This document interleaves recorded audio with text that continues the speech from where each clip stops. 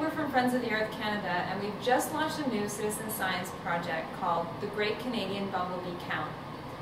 Honeybees have loyal beekeepers, but bumblebees need a voice too.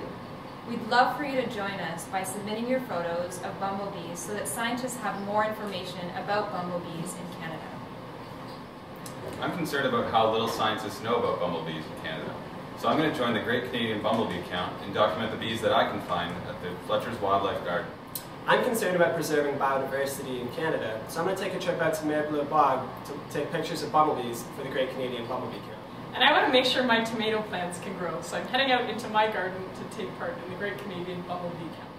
What are you concerned about and where are you going to find bumblebees? For more information on how you can participate, just follow the link provided.